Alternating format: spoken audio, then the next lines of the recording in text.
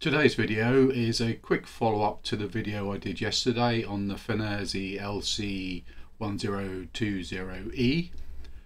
It would appear that there is a firmware update available for the LCR meter. So in this video I'm going to install that firmware and see if it fixes any of the issues that I had with the meter. So if you want to see me update the firmware on this, then this is the video for you.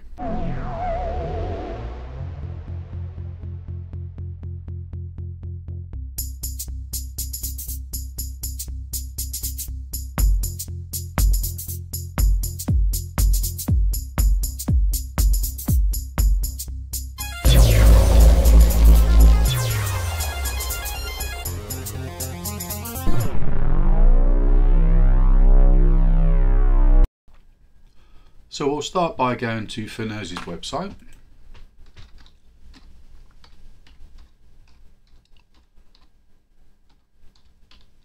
I believe it's fnirsi.com.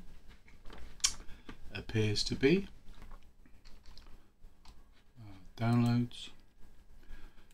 Manuals and firmwares. Uh, you guys can probably see that I'm still using Windows 10. Um, the PC I use for this isn't actually compatible with Windows 11 um, and I don't really want to be forced into updating to uh, updating my PC or to or updating illegally to Windows 11 so I just wonder what you guys feel about that. If you could comment in the description um, what we feel about being forced to uh, abandon perfectly good hardware that kind of thing Okay, so we've got the meter here. There's the manual available for download. Here's the firmware version 1.1, it's the latest. So let's just download that. Have a quick look. So it's got an update log. So what's it fixed? Pass alarm only lights up green and beeps once when the measurement is qualified. Yeah, that's what I noticed. You'll see that in the video. Change the power on off mode to long press. So it doesn't say anything about the fact that it doesn't display the correct value when you change the range. So at the moment everything is in ohms or k ohms even if you're in capacitance or inductance mode. And also for me I would like to be able to lock the secondary display to anything that I choose and not have that zip around with the auto ranging function. But in my opinion you should be able to lock that to whichever um, second secondary parameter that you want. So it doesn't look like those two have been addressed in the uh, in the update log. We'll put the new firmware in and see if any of those things have been changed and then we'll and we can also check to make sure that the um, sorting mode is actually working as as it should do. Okay, so according to the manual, to do the firmware upgrade, we need to put the device into bootloader mode, um, connect it to the computer, and then copy the file, and then reboot.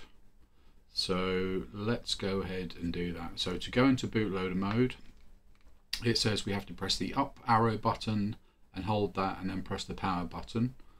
When the screen shows bootloader it means the device is entered firmware upgrade mode. Then we connect it to the computer, um, the, it will come up as a drive in the computer and then we just copy the zip file onto the device or actually drag the .bin file onto the device. So let's go ahead and do that. So bootloader mode, it said press up and hold and turn the power on. And it does indeed enter bootloader mode.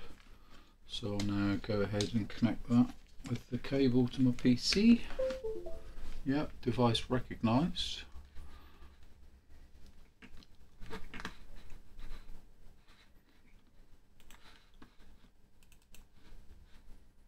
Yes, it has.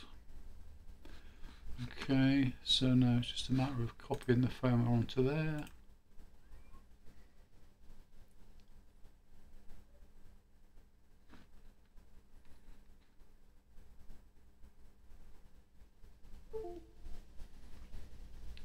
Device has disappeared.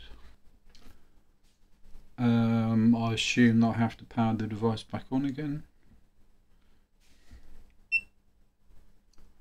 Yes. Oh, it's asking me the language at the startup. That's a bit different. Right. Okay, so it appears to be working so far. So let me, let's put the test jig in. Um, I don't know if I made this clear yesterday on the video. I really can't remember, but when you push this guy in, uh, you do have to push it slightly, just slightly to the right. Um, that just locks it in. I don't know if I made that clear. Right, let me go and get a resistor.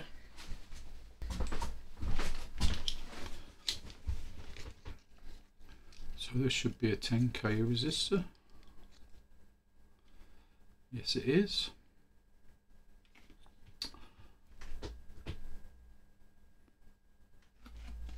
That's good. Um, and let's just quickly grab a capacitor. Okay, so I've got the test frequency on 1 gigahertz, the bias at 0.5 volts. And we'll connect this capacitor, it's a 470 microfarad. So it's measuring 425, which is fair enough. Okay, so that seems to work. Um, now, oh, let's just change the range to manual. Range. Yeah, so it's still saying ohms for that.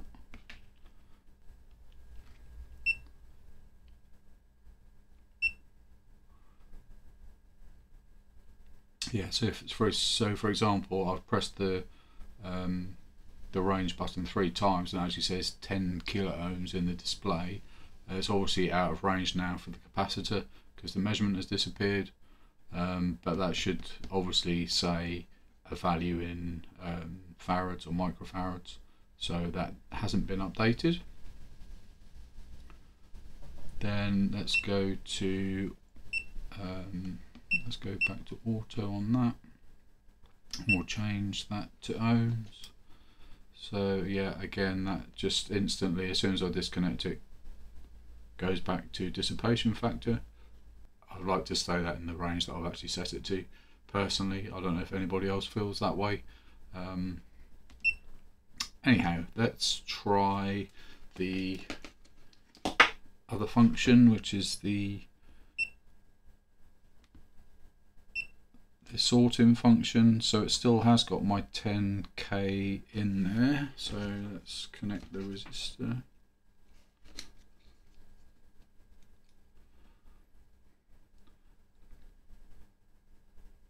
Okay so it's actually a pass but it's come up as a fail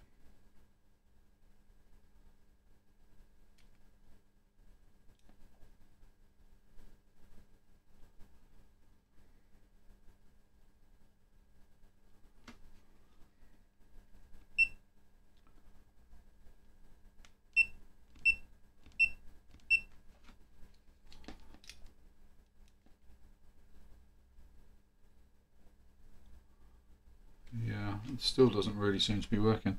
Let me just check to make sure it has actually done the firmware upgrade. Version 1.1, yes it has.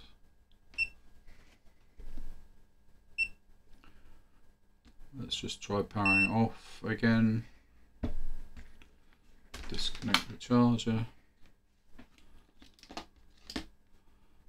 Power on. Let's actually try setting the so we've got the um, no good warning let's turn let's turn that on.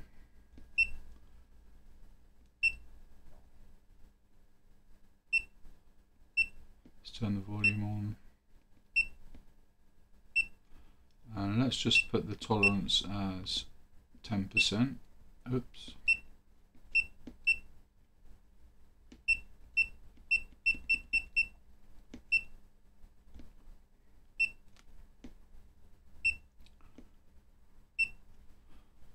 go into dice mode. So both the counts are zero. We've got it set for 10k.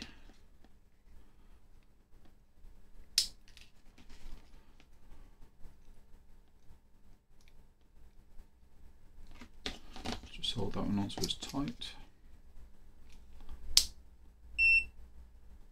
Aha.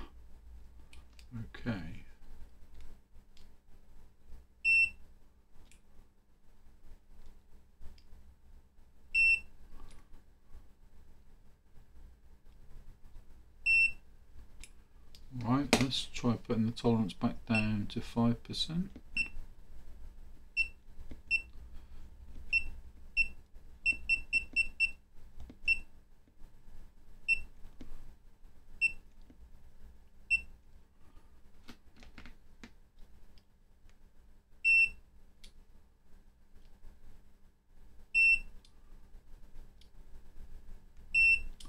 Okay, so that's working. I just want to turn the buzzer off.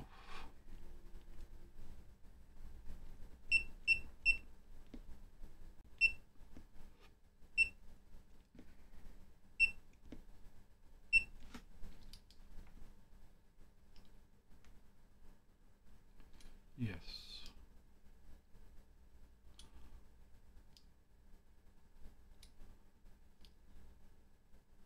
Okay, that does in fact appear to be working now, so maybe I had to reboot the, um, the meter again. So that does in fact appear to be working. So the firmware update has done exactly what it said it would do. Power off is now... I don't notice that being any different to be honest to how it was before. Um, so I don't know. But anyway, the count function, the sorting function is now working as it says in the book. So let's hope or from my from my side anyway, I hope that they fix the um,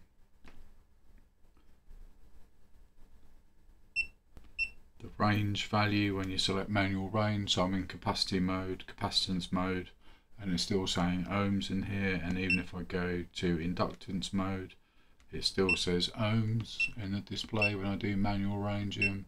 So that definitely needs to be fixed and uh, as I've said I would like to at least to be able to fix that. If, even if I have to press and hold it or, or something I'd like to be able to lock that in so it doesn't auto range. Because it hasn't actually got an auto range function on it. Um, so I don't see why that, that would auto range unless you ask it to. That's my opinion. Comments in the comment section. And yeah so that's just a quick video firmware upgrade um, and to see what it does. So if you enjoyed that one, please subscribe to the channel. Um, leave any comments in the comment section that you feel. And thanks for watching. See you in the next one.